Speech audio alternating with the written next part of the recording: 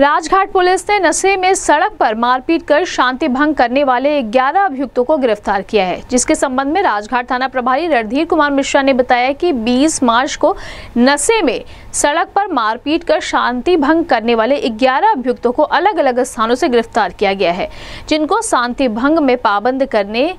के लिए city magistrate के न्यायालय भेजा गया है, जिनकी पहचान छेदी पुत्र पलकधारी निवासी मुक्तेश्वर नाथ मंदिर थाना राजघाट, दूसरा अजय पुत्र बद्री निवासी मुक्तेश्वर नाथ मंदिर थाना राजघाट, तीसरा राकेश पुत्र दिनेश निवासी गढ़ मुक्तेश्वर नाथ मंदिर, ट्रांसपोर्ट नगर गोरखपुर, चौथा आदित्य पुत्र संतोष निवासी पुराना विजयपुर, गोपालगंज बिहार, पांचवा भरत पुत्र राकेश मछली मंडी, चक्रा अव्वल थाना राजघाट गोरखपुर, छठवा अमित पुत्र सोबी निवासी बंजरा बरईपुर थाना हाटा जनपद कुशीनगर, सातवा शैलेश पुत्र, स्वर्गीय राम मूरत निवासी, चकरा दोयम, थाना राजघाट, गोरखपुर, आठवा।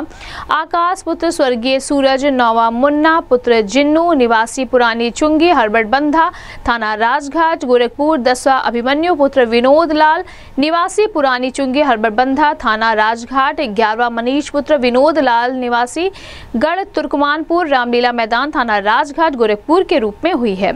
गिरफ़्तार करने वाली पुलिस टीम में राजघाट थाना प्रभारी रणधीर कुमार मिश्रा, टीपी नगर चौकी प्रभारी अनूप कुमार मिश्र पांडेहाता चौकी प्रभारी भागवत चौधरी, कांस्टेबल अश्विनी कुमार, मंगलदीप देवेंद्र कुमार, अशोक कुमार, शैलेश कुमार शामिल रहे।